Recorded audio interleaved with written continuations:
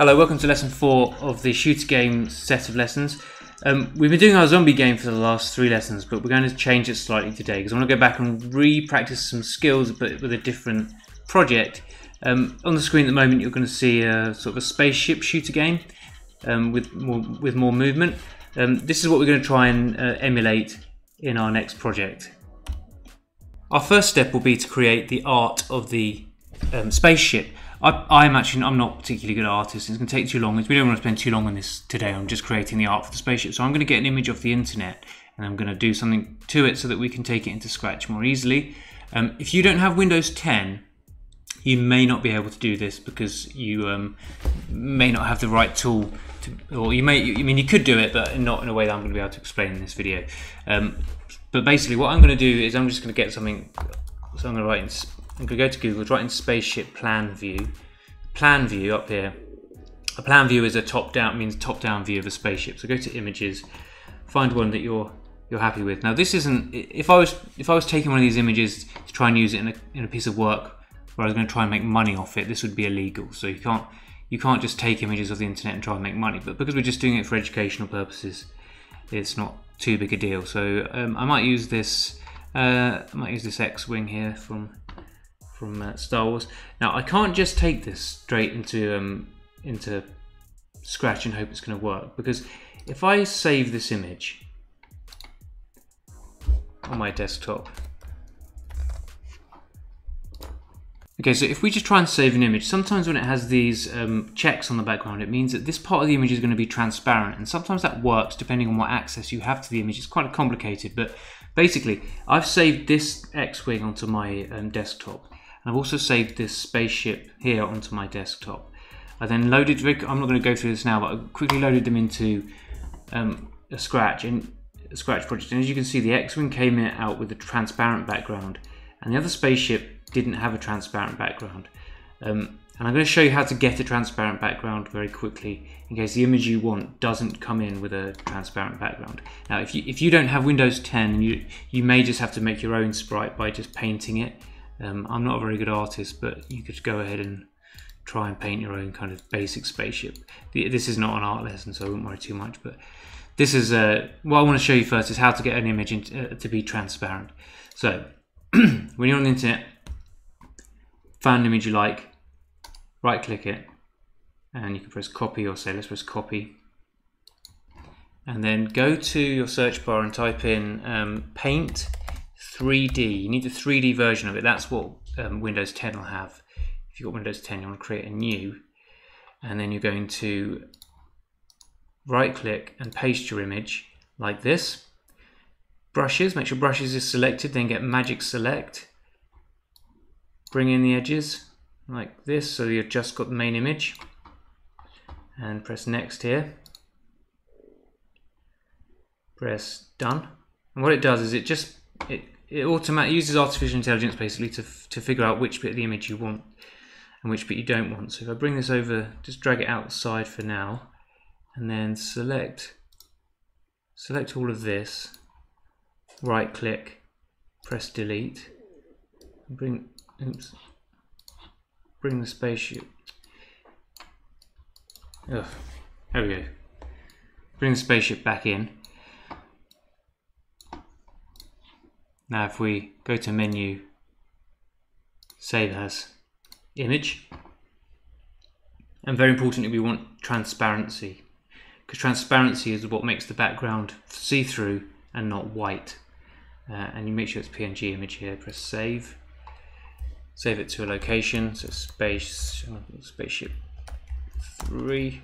And then if I go into my Scratch project, if I now upload a new sprite, Spaceship 3, it there comes in now, it's transparent, it's no longer got the white background. Right, so I'm going to start fresh so we're with a new project so that it's le uh, less confusing. So go to new um, and delete the cat. I'm going to upload my spaceship. Uh, it's too big for purposes of what we're going to do. We're going to go left to right, by the way, on our game because because of the way the screen is on a in um, scratch. It's basically landscape, so it makes more sense if we go left to right rather than um, up down. So I'm going to go into costumes, and what you'll first of all you'll see is well, yours may come up like this with the button here that says convert to vector.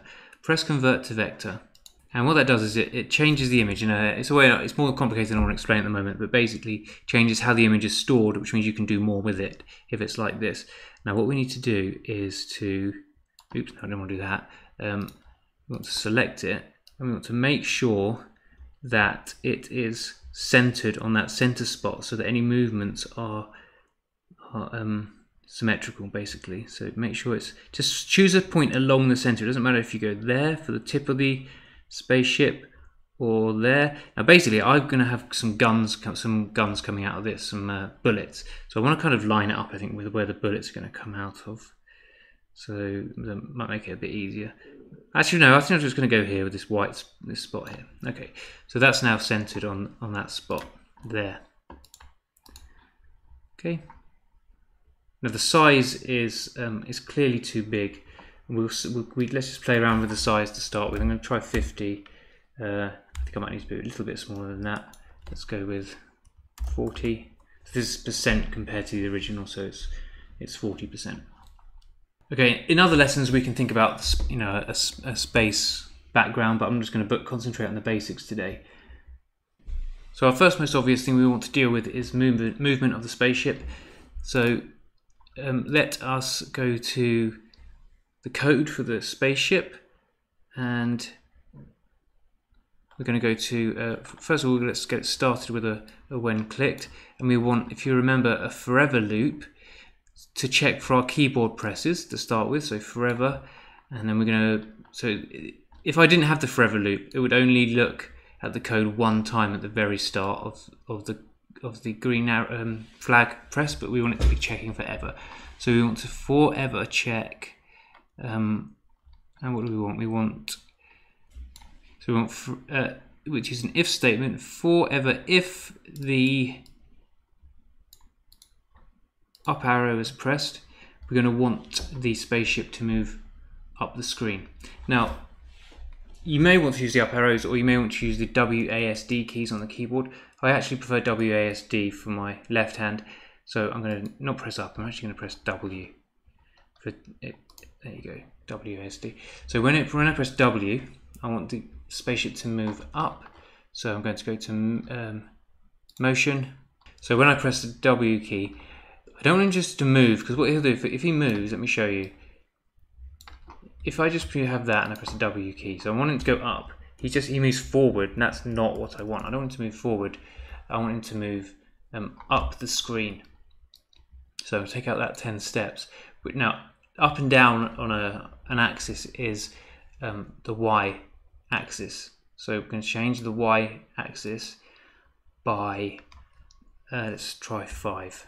So there we go. Now when I press W, he's moving up. I want to do the reverse of that, so I'm going to duplicate it. And say when I'm pressing the, the S key, which would be down, you can press the down arrow if you prefer. So the, when I press the S key, I want to change his Y direction by minus 5. Now this spaceship is not going to have a direct, he's not going to have, be point, he's only ever going to be pointing in one direction, which is um, to the right. But there you go, I'm pressing W, S. Now I want to do the left and right controls as well. So duplicate. So A would be, is going to be left for me. And I don't want to change Y direction because left and right would be X direction. So I'm going to have X. If I'm pressing A, I want it to go left. So that's minus number, so minus 5. And let's duplicate this. When I press D, I want him to go to the right. So it's going to be 5. So now I've got full motion around the screen for my spaceship. Okay, so we're going to have the gun on the left and the right hand side of the spaceship. So that when I press the spacebar key, it shoots one from the left, and then the next time I press the spacebar key, it will shoot from one from the right.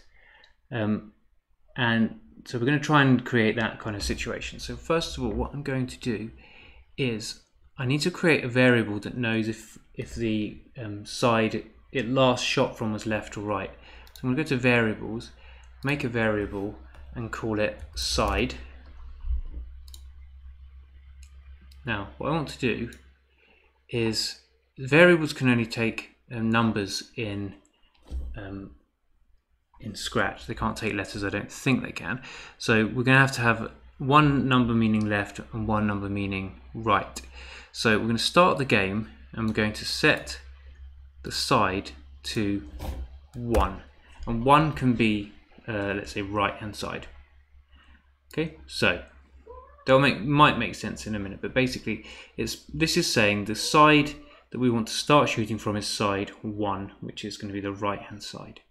Then we're going to make another control here, so duplicate this, and say when the space bar is clicked, we're going to shoot, I'm going to get rid of that, we're going to uh, create a clone of a bullet. We haven't created a bullet yet, or gun or rocket, whatever you want to call it, so we'll do that now. So let's paint a sprite. You can be as creative with this as you want. I'm just going to keep this simple for now because we don't want this lesson to go on for too long. So from the center point, let's have. Oh no, I need to, start, need to set the thickness and the color before you draw it. I think. So let's go for.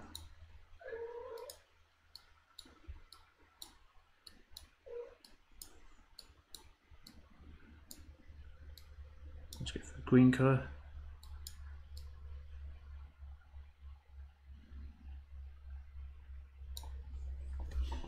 Okay, that should do. We don't want anything too complicated. So uh, this sprite is going to be called our sh uh, shot. Well, no, let's call it let's call it bullet, just for simplicity's sake. So I'm going to make sure I press on spaceship, and when I press the space key, we're going to create a clone of the bullet. So go to um, control, no, sorry, events, and then no sorry it is control. Create a clone of bullet. Okay so we won't do anything yet. Um, let's go to bullet and put some code in there. So we need to get the events. When I start as a clone First thing we want it to do is to, well let's just check it's actually working first of all. So let's go to looks and go uh, show. So let's see if we can actually get that to do something.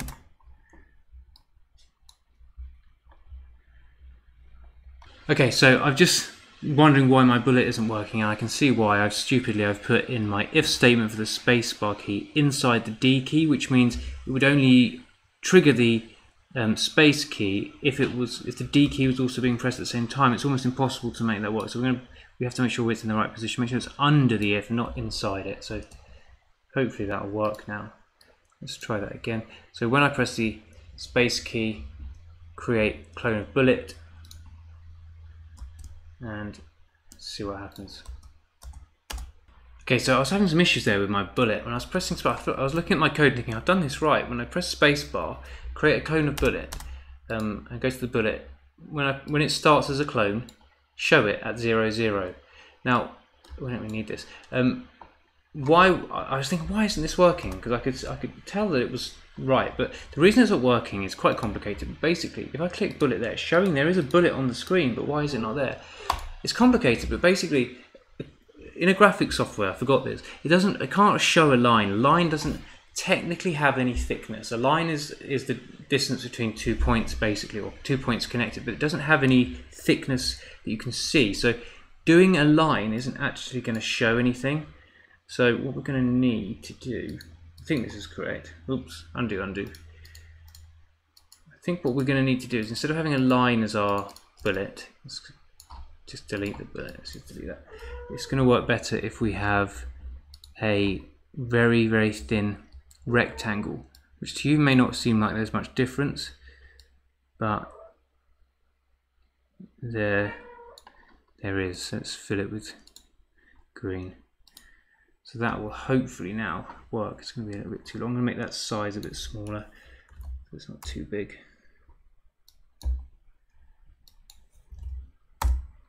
Oops, no, make it smaller here, I should say.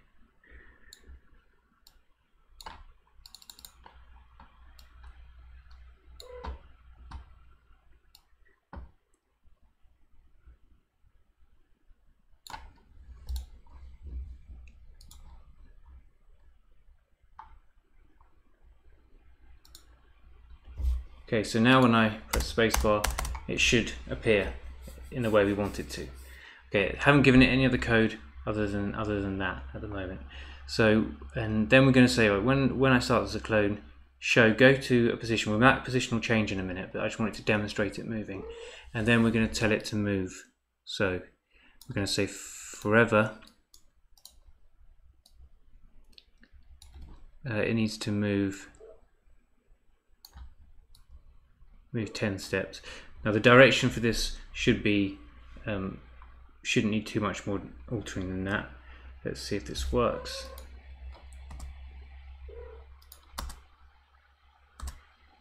Yes, so that's as we want it. It's not firing from the right place, but um, it is doing what we've told it to do. Okay, so next is what we want it to do is to be able to cut start from the the um, spaceship itself. So let's just separate this out here. And instead of go to zero zero, we're going to want it to go to the spaceship. So let's say go to spaceship. Let's get rid of that and see what happens. Okay, so that's fine. It's coming out the middle, which is okay. It's not what we want. We want it to come out of the wings. So I'm going to tell it to go to the spaceship. So it's it's in the right position, but then I want it to come and come out of here. So by saying go to spaceship, we've got it to shoot out of the middle of the spaceship, but we want it to actually be slightly higher up on the wing, so it's coming out of here. So I'm going to change the Y direction. So let's take this, put that there.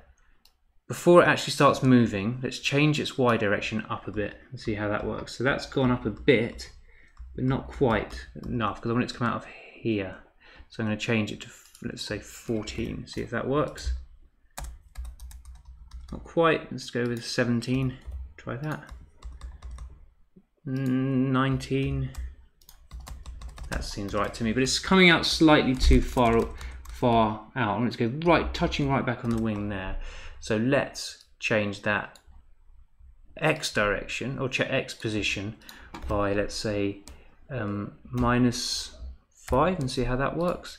So it's going to move backwards along the x direction. Still a bit too far, I'm going to change that to minus 10. There we go. That seems okay to me. Okay, so now the complicated bit is how do we going to get how are we going to get it to come out the left and right side each time I press it? Now that's something to do with this number here. So we're going to use something clever here based on the symmetry that we've made with our um, made with our uh, picture, and we're going to use the idea of timesing by minus one because when we change the y direction here, when it was at zero, um, when it was at zero, came out the middle of the so again, comes out the middle of the ship. When it's at 19, it comes out there. So conversely, we should expect if we put in minus 19, it comes out exactly the same position but underneath. Now how are we going to make the computer alternate between left and right? Well, we're going to use something clever. We're going to try and, we're going to um, multiply the number by uh, minus 1 each time well, no, sorry, let me say that again. We're going to multiply we're going to use 19, but we're going to multiply it by what side it's on. And side is going to change from 1 to minus 1, 1 to minus 1. So what I'm going to do here, so it's a little bit complicated, but you'll, you'll, when you see it working, you hopefully you'll understand what I mean. First of all, I'm going to go back to the spaceship code. Okay, so after I've pressed the spacebar key, I want the side to change from 1 to minus 1. And if it's minus 1, I want to change it back to 1. Going to be a little bit complicated. I'm going to use this set value here, this set block here. So I'm going to, after I've created the clone, we could do it before, makes no, no difference. After I've created the clone, I want to set my side value to, now what do we set it to? We don't know. Sometimes we're going to want it to be 1, sometimes we're going to want it to be minus 1, depending on what it was last time. Now we can use some clever maths here to use it do a calculation. And what we're going to do is we're going to take this multiply, this little star here is a multiply. So we're going to take what it was previously. So take what it was. Oops, I've, let me uh, undo that. I've made a mistake there. Let's do it outside. So we're going to take what it was and we're going to multiply it by minus 1. Now let me explain how that works. Right, so let me give you a little explanation about um, what this multiplying by minus 1 does. If the side variable is starting on 1, but we take 1 and we multiply it by minus 1. So if I take 1, let's just do it, let's just do it like this. If I take 1 and I multiply by minus 1, 1 multiplied by minus 1 is minus 1. So if it started that calculation as 1, if the numbers, if the side number started as 1, if we multiply it by minus 1, we end up with minus 1. So the side number is now set to minus 1. If we now take that, if we now start the next time we press space bar, it's going to take that number there, so that minus 1, it's going to starting with minus 1 this time. If we do minus 1 times minus 1, hopefully you know from, from mathematics that minus 1 times minus 1 is 1. Okay, so it will follow that pattern forever. Now, if I just set this up, um, if I just set this spreadsheet up and say, right, take whatever the number it finished on last time was, put it there, and then for this box, take whatever it was there, but multiply by minus 1, just drag that down, it will just continually alternate between 1, minus 1, 1, minus 1. Purely by multiplying by minus 1, it will change a number from negative to positive, positive, negative, negative, positive, positive, negative.